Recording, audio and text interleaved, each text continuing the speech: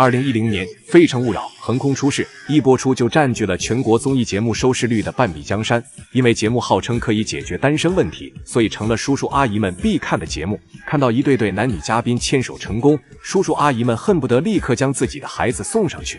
然而，这档节目真的可以解决单身问题吗？作为国内婚恋相亲类节目的鼻祖，《非诚勿扰》可以说是赚足了观众眼球。而台上无论男女嘉宾，个个都非常优质，长相出众，身价不菲，各种公司经理、部门主管，还有什么模特、演员，甚至还有海归富二代。如果这些人设都是真实的，很难想象这样的人在现实中会没有人追求。偏偏在这档节目的舞台上，全都是这样优质的嘉宾，这一点本来就很让人怀疑了，但依旧有人傻傻的相信了。二零一四年，二十三岁的于燕来到了节目舞台。因为他之前做过摔跤运动员，所以整个人圆滚滚的。因为职业原因，在生活中他很难遇到心仪的另一半。这时候，他看到了《非诚勿扰》，他想的很简单：这档节目会面向全国观众播出，总有人能看到自己的好。所以，怀揣着对美好爱情的向往，于嫣来了。虽然她的外形条件并不如其他女嘉宾好，但是她性格活泼开朗。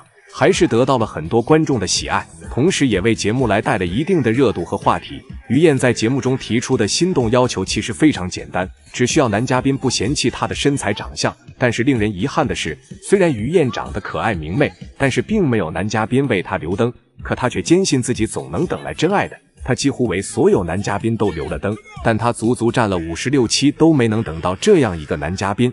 而这时候，他给节目带来的流量和热度也逐渐消退。随之而来的变成了对节目的质疑，所以在这样的情况下，节目组找到了一名喜爱于燕的男嘉宾。就在于燕开始怀疑自己的时候，一位长相帅气的男嘉宾出现了。在节目中，男嘉宾热烈地表现出了对于燕的喜爱，甚至还将于燕的照片印在了精致的礼物袋上，并且拿着礼物对于燕深情表白，说自己从电视上看到了于燕，被她的性格深深吸引，看了这么多期，越了解就越喜欢于燕。终于，自己决定鼓起勇气来到舞台上向她表白，甚至说自己一直都在等待这一刻。一番话深情又感人，于燕在一旁听得感动到流泪。于燕顺利被牵走了，看起来皆大欢喜的结局。可出了节目，于燕正期待甜甜的恋爱时，男嘉宾却向于燕摊牌了，表示自己只是节目组安排的，就是为了牵走她，因为他占了一个女嘉宾的席位，所以安排了这场体面的退场。得知真相的于燕备受打击，甚至还因此患上了抑郁症。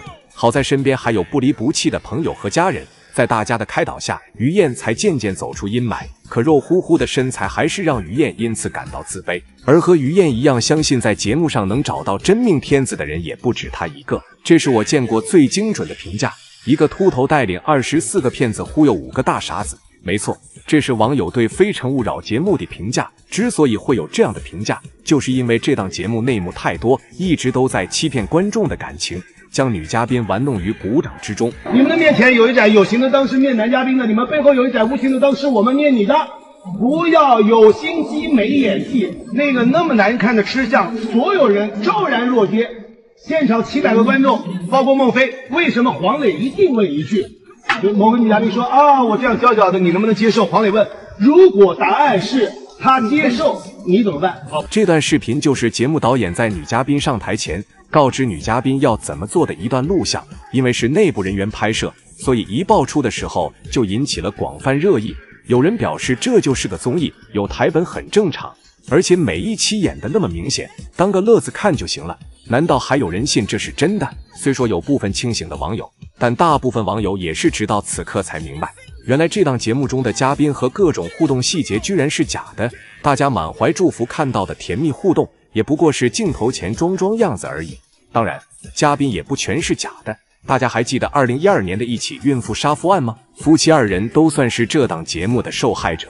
妻子王佳原本是一名杂志主编，且家境殷实，从小生活优越，又是名牌学校毕业，长相虽不算惊艳，但也算是比较漂亮。因此，她的择偶标准相对就比较高，身边的男性没有能入她眼的，因此便来到了这档相亲节目。即使有不少男嘉宾为她亮灯，但是前几期她并没有遇到心动男嘉宾。这时候，高学历才女的标签也没有那么吸引人了，所以节目组再次出手，为王佳安排了一个完美符合她要求的男神张天翼。张天翼的故事很是跌宕起伏，是一位白手起家却与病魔抗争的破产又东山再起的公司的老板。经历过大风大浪的成熟男性，迅速让年纪相仿且家境相当的王佳坠入爱河。可以看到，在后台接受采访时，王佳一直深情注视着张天翼。只不过没几天，张天翼就以出国出差为由断了和王佳的联系。王佳也因为联系不上张天翼而患上了抑郁症。而这时候，一个叫文文的男人闯入了王佳的生活。文文也一直在看《非诚勿扰》，之前就被优秀的王佳吸引了，只是没有勇气来节目中追求。后来通过王佳的社交平台看到他难过，就一直陪伴在他身边，鼓励安慰他。备受打击的王佳渐渐被文文感动。他还曾发文表示自己很幸福，要一直做文文的新娘，两人也顺利结婚。但平芳的日子并没有过多久，王佳身边同样参加过节目的小姐妹都嫁得非常好，对比她的老公文文，她就显得很平凡了。慢慢的，她的心里也开始发生变化，经常和自己的老公吵架，最后闹到了离婚的地步。可偏偏这时候，她被查出了怀孕，为了孩子，两人只能放弃离婚计划。可王佳对丈夫的不满却因为孕激素的影响被无限放大。终于，在又一次和丈夫吵架后，她举起菜刀砍向了身边熟睡的丈夫。等她反应过来的时候，丈夫已经抢救无效，宣布死亡，而她也因此被判了十三年。可见这档节目对她的影响有多大。当然，也还有一些女嘉宾是明确知道自己来节目组就是为了当好演员的。但她却因此被骂了十几年。当年火爆大江南北的《非诚勿扰》，究竟骗了多少人？你们的面前有一盏有形的灯是面男嘉宾的，你们背后有一盏无形的灯是我们面你的。不要有心机没演技，那个那么难看的吃相，所有人昭然若揭。现场七百个观众，包括孟非，为什么黄磊一定问一句？某个女嘉宾说啊，我这样娇小的，你能不能接受？黄磊问，如果答案是他接受。你怎么办？好，看完这段视频，我们才发现，原来不仅明星会塌房，真人秀的综艺也是弄虚作假。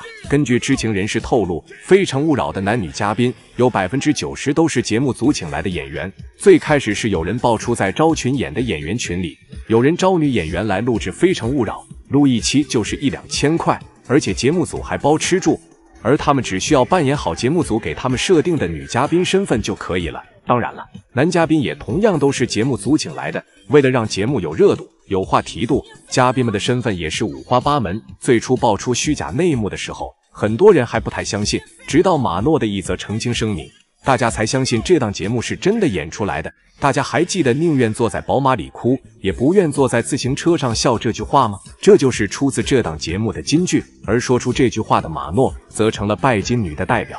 这一期节目中。马诺作为平面模特，姣好的容貌和傲人的身材，让她一出场就成了焦点。同期的男嘉宾中有一人是归国的富二代，问他是否愿意和自己一起经常骑单车，马诺接到的台本是要拒绝男嘉宾，所以只好说出自己还是选择在宝马里哭吧。这句话迅速引爆了舆论，无数人骂她是拜金女，但是因为种种原因，她并没有在节目中表现出什么，而是留下一句“我其实不是这样的”。就匆匆下场，直到后来爆出越来越多的内幕时，她才发布了澄清内容，表示当时自己就是去工作的，他要做的就是拒绝这个男嘉宾。舆论的导向也并不是他刻意为之，这番声明无疑是告诉大家，《非诚勿扰》就是找了一群演员在表演给观众看。随着越来越多内幕曝光，这档节目的收视率也逐渐走低。